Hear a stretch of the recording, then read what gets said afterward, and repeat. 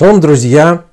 Наш следующий персонаж Авраам. Итак, что мы знаем об этом человеке до того, как он стал нашим праотцом? Вначале его звали Авраам. Его имя Авраам он получил значительно позже. Его отца звали Терах, а деда Нахор. Маму звали Амтела, Аббат Карнево. Они были семитами, потомками Шема и Эвера, точнее, были арамейцами по происхождению. Авраам родился в 1948 году с сотворения Адама – он был десятым поколением после Ноаха. Город, в котором он родился, назывался Кута, недалеко от Ур-Каздим. Поэтому семью Авраама часто называют халдеями или Каздим.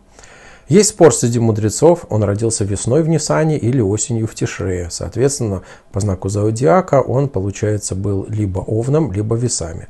Он был третьим и младшим ребенком в семье, но это не точно. У него было э, точно то, что у него было два брата, Нахор и Гаран. В год рождения Авраама его отец Терах стал министром при первом императоре Вавилона Немроде за то, что принимал самое активное участие в строительстве Вавилонской башни. Его имя обозначает «отец поднялся» или «отец возвысился». Когда родился Авраам, астрологи предсказали царю Немроду, что новорожденный сын Тереха затмит все его достижения, все достижения царя, императора и его империи. Nimrod потребовал тут же отдать ребенка на казнь и назначил высокую цену за жизнь сына и пригрозил убить всех мужчин в его доме, если он ослушается этого приказа. Отец попросил три дня на раздумье и за это время придумал подменить Авраама, дав на смерть вместо своего сына, своего сына от другой женщины, от служанки. Авраам Атерах прятал в пещере, где он пребывал до 10 лет или до 12 лет, по, по еще одному мнению до 14 или даже до 15 лет. Первое время он был там с матерью и с той самой служанкой, которая заодно служила ему кормилицей. Именно там он пришел к мыслям о едином Творце, он начал об этом думать с возраста трех лет. Потом ему пришлось самому учиться думать и говорить. Бог отправил специальных ангелов для его обучения. Когда Авраама достали из пещеры, он еще больше убедился в единстве Творца – Пока Авраам был в пещере, у его брата Гарана родились дети – Лот, Милка и Сарай. У Сарай было еще одно имя – Иска. По другому мнению, Иска это была мать Сарай, тогда Авраам, получается, не дядя, а двоюродный дедушка Сарай, но это по другому мнению. Сарай родилась тогда, когда решили вытащить Авраама из пещеры, то есть, по основному мнению, когда ему было 10 лет. У них с братом Араном была большая разница в целых 32 года.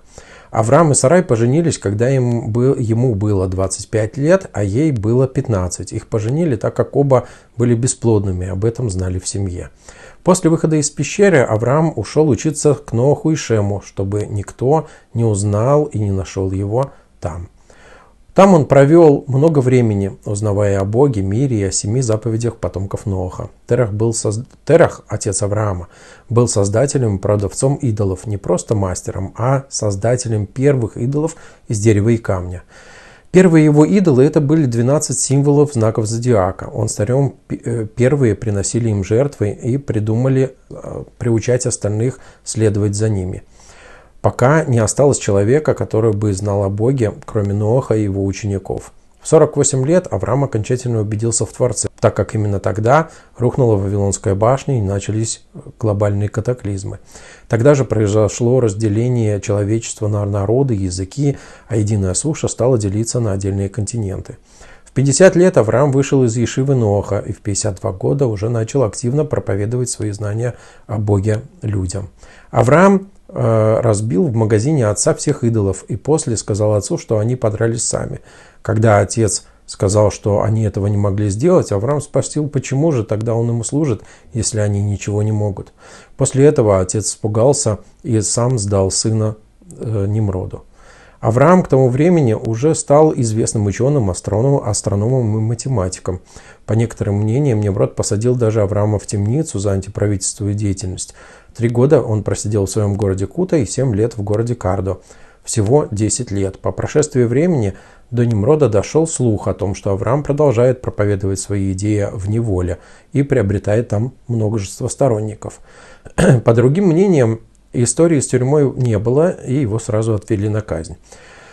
Тогда, когда Авраама завели в огромную печь, где выпекали кирпичи для Вавилонской башни, на казни присутствовали более 600 тысяч человек. Немроду так не терпелось покончить с бунтарем, что он приказал поджечь печь сразу, как только, как только Авраам очутится в центре печи.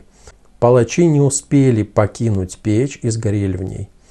Терах, отец Авраама, выгораживая себя, обвинил своего сына Арана в том, что Авраам выжил, за что Аран был брошен в печь вслед за братом и погиб. Авраам три дня находился в печи, а именно столько она не тухла. Когда огонь сошел, Авраам вышел, и все правители прибежали кланяться к нему, как новому божеству. Но Авраам быстро остановил их. Правители подарили ему множество подарков в знак уважения. Двое слуг Немрода перешли на сторону Авраама. Одного звали Они, а второго звали Элиезер. Второй Элиезер был сыном Немрода и начальником стражи при нем. Имя Элиезер он взял уже служа у Авраама намного позже. По другому мнению, он был правителем Дамаска. А еще, по одному мнению, Элейзер – это тот самый великан Ок, которого спас э, Ноах. С Авраамом после этой истории ушло от Немрода еще около 300 знатных слуг, которые стали основой нового общества, живущего по заповедям Ноаха. По некоторым мнениям, это произошло в более ранний период жизни Авраама. По тем же мнениям, Авраам женился на Сарай и Нахор женился на Милке уже после смерти Арана. В таком случае проповедовать свои идеалы он стал также после истории с печью и через два года после событий но тоже примерно к 52 годам. Тогда же Немроду приснился страшный сон, после которого он решает все-таки тайно убить Авраама. Элиезер по своим каналам узнает об этом и прячет его в, до, в доме Ноаха. Так Авраам вернулся снова к Ноаху. Терах догадался, куда спрятался Авраам, и решил навестить его, и заодно попросить э, у него прощения за все. После этого разговора Авраам простил отца. Тогда Терах посоветовал Аврааму покинуть страну. Они решили отправиться в землю Кнаан, но не дошли туда, остановившись в Харане со всей семьей. В Харане Авраама попросили остаться люди, местные жители, и стать их судьей и правителем. Он согласился и проправил там три года. В 55 лет он покинул пост и отправился в Кнаан, так как было задумано ранее он отправлялся туда без семьи и своих сподвижников. Еще через три года Авраам узнал о смерти Ноха и пошел почтить его память. Аврааму на тот момент было 58 лет. Когда Аврааму было 60, правители Кнаана и особенно с дома Амора подняли бунт против Немрода и его вассалов. На 65-м году Авраама при поддержке Египта Кнанеи разгромили вавилонскую армию Немрода и объявили о независимости. Тогда же Авраам вернулся в Харан к родителям, семье и ученикам и провел с ними еще пять лет до 75 года своей жизни. С его возвращением к этому сообществу примкнуло еще 72 местных жителя Харана. На 75 году, как всем известно, истории, он получил свое первое пророчество, первое испытание «Иди себе в землю, которую я укажу тебе». Остальные факты мы знаем уже истории и поговорим о других интересных фактах жизни нашего праотца уже в следующих видео. Спасибо за внимание.